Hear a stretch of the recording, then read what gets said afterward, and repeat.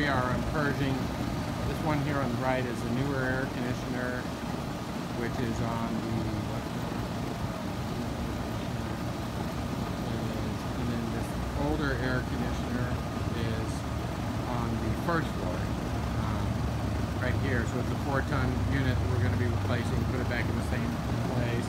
Put a new pad down here. You see, you're going to need a new disconnect. We're going to flush the lines. You know, get a little bit of insulation to fix that up out there. Um, that's pretty much it. We're going to be putting a new coil on the inside too. Thanks. Oh, just to show you guys too, um, there is a driveway here. You'll be able to get in. We're going to back a dumpster down this driveway.